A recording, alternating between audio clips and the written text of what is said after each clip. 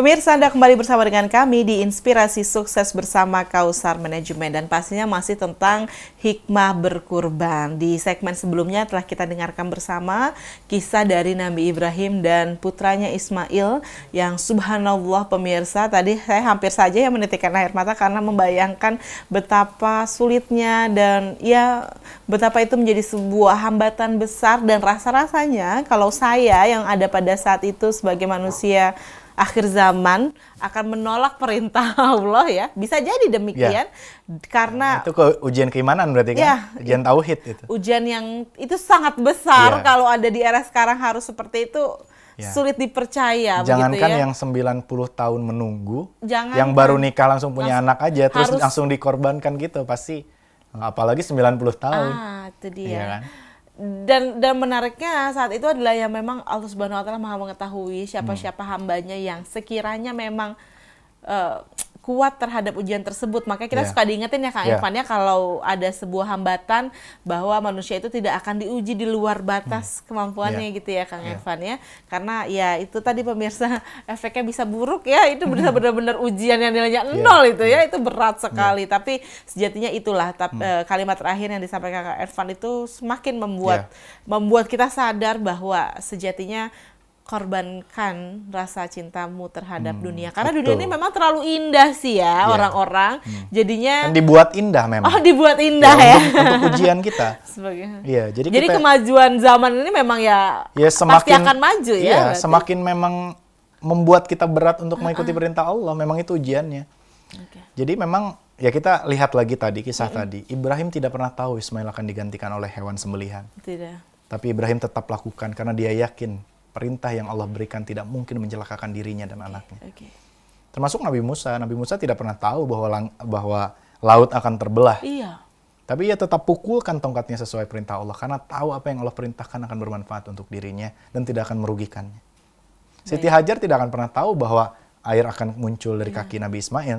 Tidak terbayangkan iya, rasanya ya. Iya, tapi dia tetap uh, bolak-balik mondar-mandir ikhtiar dari sofa ke Marwah.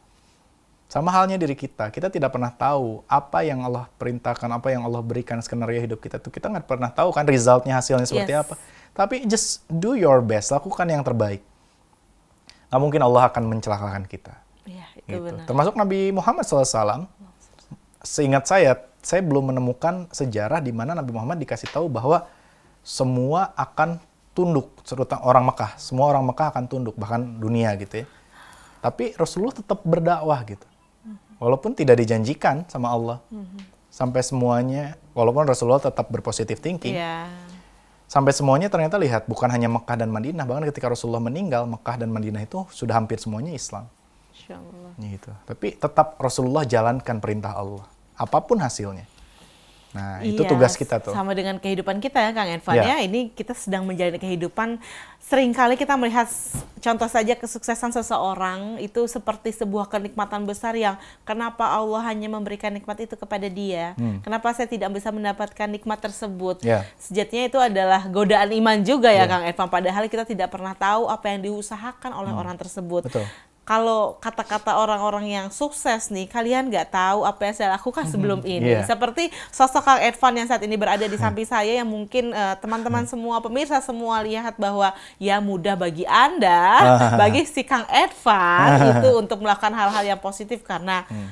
nampaknya sekarang sudah punya semua seperti itu ya berkorban pun dianggap satu hal yang mudah mudah hmm. saja untuk berbicara tapi sebelumnya pasti ya. banyak hal-hal yang ya. diupayakan dulu aja saya ketika mau berkurban itu saya nggak punya uang diawali sejak saat ya. tidak punya iya dari zaman kuliah lah ya mm -mm. ketika sudah mulai lepas dari orang tua yes. kan setelah SMA itu udah lepas tapi saya harus berkurban gitu apalagi kalau sudah berkeluarga ya, ya. tapi kan nggak punya uang apa yang bisa saya lakukan banyak yang bisa saya lakukan saya ikhtiar dua kali lipat uh -huh. menjelang detik-detik terakhir pembayaran hewan kurban di panitia tuh kan. Iya. yeah. dan ternyata dan yang akhirnya solusinya adalah saya kurban di kampung halaman di Kota Tasik karena harga hmm. sapi jauh lebih murah. Oh, okay. Jadi ketika kita niat selalu ada jalan. Yeah, yeah. Gitu. Ketika harga sapi di Jakarta waktu itu kan kalau dari daerah ke Jakarta dengan ongkos dan segala yeah, macam, sapi-sapi di sini jadi mahal. Ketika saya coba di Tasikmalaya di kota kelahiran, di tempat orang tua ternyata jauh lebih murah. Sesuai hampir mendekati budget saya gitu. Yeah. Dan akhirnya saya tinggal butuh uang sedikit lagi, Saya dua kali lipat saya bisa jual buku waktu itu, saya jual coklat pernah, saya jual sendal, apa pun yang bisa kita lakukan. Jadi manfaatkan peluang itu untuk bisa berkorban dan balasannya itu luar biasa dari Allah. Ya, karena kita korbankan harta, tenaga, waktu kan buat ya. nyari harta ya, itu ya. bukan cuma hartanya loh, waktu juga, tenaga Betul. juga. Nah, itu akan pasti Allah balas. Jadi tinggal bagaimana kita berniat atau tidak. Hmm. Karena kalau kita melihat merunut sejarah dari zaman Nabi Adam sampai zaman kita sekarang, ujian manusia itu cuma satu kok. Percaya nggak sama Allah? Eh, ke sana nunjuknya. Percaya nggak sama Allah? Ya, percaya nggak sama Karena aku? Allah ada di hati kan. Oh, iya. Jadi percaya nggak sama Allah gitu ya. ya. Cinta mudah-mudahan hanya untuk Allah. Itu. Percaya nggak? Kata Allah kurban. Aduh tapi kan saya uangnya cuma segini nih Nanti kalau dikorbankan nggak ada lagi yang bisa habis. dijual nih Kang Edvan ya kan pertanyaannya besok harus sederhana, makan. percaya nggak? Iya. Saya punya uang buat haji, tapi belum daftar haji nih. Tapi kalau daftar haji nanti anak saya sekolah gimana, iya. makan gimana? Pertanyaannya satu lagi tadi. Percaya, percaya nggak sama Allah? Itu. Maka inilah tauhid yang sesungguhnya. Makanya Ibrahim dikatakan bapak para nabi karena beliaulah yang mengajarkan tauhid. Dan lihat kalau lihat prosesi haji itu banyak yang terjadi di zaman Nabi Ibrahim. Yeah saimar uh, hmm. apa namanya bersa'i uh, ya sofa marwa itu dari Siti Hajar di zaman Nabi Ibrahim lontar jumroh juga di zaman ya. Nabi, eh, Nabi Ibrahim kemudian Ka'bah juga tawaf itu karena Ka'bahnya ditinggikan di Nabi Ibrahim di sana juga ada um, apa namanya tempat dudukan kaki Nabi Ibrahim ya semua itu di zaman Nabi Ibrahim karena memang inilah eratnya hubungan antara kurban, haji dan juga tauhid. Itulah kenapa kemudian ibadah haji juga dilakukannya ya. Yeah. Di saat lebaran haji seperti yeah. ini begitu yeah. ya waktu-waktunya ya Zulhijjah yeah. ini ya. Masya Allah pemirsa. Hmm. Ya pemirsa kita semakin mengetahui bahwa sejatinya hikmah yang bisa kita dapatkan kalau saja kita percaya kepada Allah Subhanahu Wa Taala itu banyak sekali. Yeah. Dan pastinya jangan pernah kita putus asa tentang rahmat Allah karena ya emang kita pasti mikir saya sendiri pasti mikir aduh besok makannya apa kalau uangnya kemudian semuanya harus saya korbankan begitu ya. Itu hmm. tanda-tanda hmm. cinta sama dunia ya Kang Evan? Iya, hubud dunia. Hubud dunia. Masya ya. Allah. Karena dunia ini Allah bikin indah. Uh, uh. Dan dan waktunya cuma 2 per 3 jam aja. Sekarang kita merasa lama. Tapi nanti 2 per 3 jam waktu akhirat, ya. Kalau kita benar-benar hidup 70 tahun, seolah-olah kita baru bangun, ya Allah tadi itu cuma 2 per 3 jam ya. Dua, bahkan mungkin cuma 2 jam kalau umur kita nggak nyampe kan. Ya, eh, sorry, dua per tiga jam. Atau mungkin cuma setengah jam gitu. Dua per tiga jam, atau setengah jam, atau bahkan kurang dari itu, cuma beberapa menit aja. Karena waktu ini kan relatif. Waktu kita dengan di Mars saja beda, betul, betul, apalagi betul. dengan negeri akhirat. Apalagi dengan surga. Allah. Dan itu cuma sebentar saja. Dan kita akan sangat menyesal ketika waktu yang sangat singkat itu kita gunakan untuk melakukan hal-hal yang Allah benci, Allah larang. Hmm. min zalik. Betapa kita akan menyesal ketika baru sadar, ini ternyata hidup saya yang sesungguhnya. Ketika kita terbangkitkan di padang mahsyar, mendengar tiupan sangkakala yang kedua, dan kita baru sadar seperti tadi itu baru mimpi buruk gitu. Hmm, hmm, hmm, baru mimpi yang cuman beberapa jam aja. Dan kita akan merasa rugi. Kenapa? Karena ternyata sebelum kita di dunia, kita pernah berjanji kepada Allah. Alastu birobbikum. Bukankah kata Allah, aku ini Tuhanmu? Qalu bala syahidna ya ya Allah kami bersaksi kami akan menurutimu ya Allah. Ya, betul. Sekarang kita nggak ingat kita pernah berjanji bersama miliaran manusia di hadapan Allah seperti itu. Tapi ketika kita dibangkitkan di padang masyar kita akan disadarkan oleh Allah janji itu dan kita akan menyesal semenyesal menyesal. Dan ketika di padang masyar itu kita akan sibuk mencari pegangan. Kita cari dunia kita, kita cari jabatan kita, kita cari istri, kita cari suami, kita sibuk menyelamatkan diri kita bahkan akan sibuk mencari satu buah kurma, satu butir nasi yang pernah kita sedekahkan. Saking yeah, kita kesulitan yeah. untuk bisa tinggal nanti di sana. Karena semua dosa, semua wah manusia saling menjerit, bahkan tidak semua berbentuk manusia. Astagfirullahaladzim. Itu yang akan terjadi dalam dan dan it's real, itu bukan dongeng, itu akan kita alami gitu. Ya, yang percaya pasti kan susah ya. nih ya. Iya. Itulah lagi kembali lagi. Iya, kalau kalau pemirsa di rumah misalnya ada yang tidak percaya hmm. dengan Allah, tidak percaya atau ateis, atheist ya, hmm. tidak percaya dengan cerita yang barusan saya sampaikan.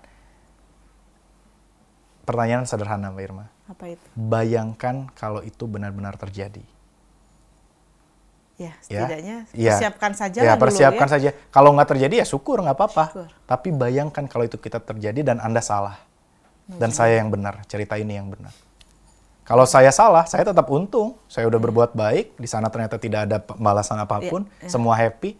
Tapi ternyata kalau anda yang salah, gitu. Nauzubillah min dzalik. min zalik. Dia sudah berkata, ah nggak mungkin ada pembalasan, nggak mungkin ada surga dan neraka. Kan ternyata udah, dia udah, salah. udah terhenti, udah selesai. Nah, ternyata gitu dia ya. salah, dia yang rugi. Saya nggak rugi sama sekali. Maka lebih pilih yang mana? Lebih mempersiapkan pilih diri mempersiapkan atau diri. mengatakan bahwa itu tidak mungkin. Lebih pilih persiapkan diri pastinya dan dengan Iya. berkurban itu menjadi satu upaya kita mempersiapkan diri tentunya yang nanti akan menjadi pegangan ya hewan-hewan kurban tadi ya tadi Ya, kan akan semuanya bersaksi bersaksi. Hmm. begitu ya semuanya bahkan pemirsa jadi yang sebetulnya- dihitung tuh bukan beratnya doang Ya, sebetulnya bukan hanya hewan kurban, semua kebaikan kita bahkan tembok, lantai yang Iya, pernah iya. kita pakai bersujud, ya baju yang pernah kita pakai semua akan bersaksi di hadapan Allah. Karena mulut kita akan terkunci, tangan, kaki semua akan bicara, termasuk apa pun yang kita pakai. Dan itu benar. Jadi kalau saya mulai luntur keimanan nih, Aha. maksudnya mulai malas sholat, Iya. mulai- saya cuma bayangin, ya Allah nanti itu benar ya, saya akan sendirian dikubur, saya akan ditanya, saya akan pertanggungjawabkan, saya akan berdiri di padang masyar seorang diri. Kita tuh nanti boro-boro ingat orang tua, kita bahkan sibuk menyelamatkan diri sendiri. Karena bayangkan cambuk, ya semua kita sibuk mencari remeh-remeh ala apa namanya kebaikan-kebaikan Oke, di dunia. iya. Min dzalik. Dan itu terjadi, bahkan katanya matahari pun hanya sejengkal di atas kita. sangat panas Ya bayangkan sekarang aja yang jauhnya Iya. seperti itu Kita sudah panasnya ribut ya. aduh aduh harus di Ya. ruangan ber AC masya Allah. Ya ini adalah eh, momen di mana kita kembali diingatkan lagi Ya. karena sama-sama belajar tentunya. Senang sekali bisa berjumpa lagi dengan Hari Raya Idul Adha Ya. pastinya insya Dan, dan Allah. tadi kesimpulannya adalah Mm-hmm. Idul Adha adalah di mana kita belajar untuk mencintai Allah di atas segala-galanya. segala Ya, la dunia, la harta, la jabatan, ilallah. Hanya Allah. Masya Allah pemirsa. Semoga pemirsa juga bisa menarik hikmah dari apa yang sudah kita perbincangkan pastinya dan semoga juga pemirsa bisa terinspirasi mulai kalau saat ini masih belum tidak mengapa tapi mulai niatkan dari hari ini Bismillah, bahwa insya Allah di momen selanjutnya di tahun selanjutnya kita bisa menjadi bagian yang juga bisa memberikan kebahagiaan untuk orang lain. Sampai jumpa lagi tentunya di inspirasi sukses selanjutnya untuk mendapatkan hikmah-hikmah kehidupan memotivasi diri menjadi lebih baik pastinya. Saya Arman Septiana dan Kak Evan Kausar pamit undur diri. Sampai jumpa. Assalamualaikum warahmatullahi wabarakatuh. Waalaikumsalam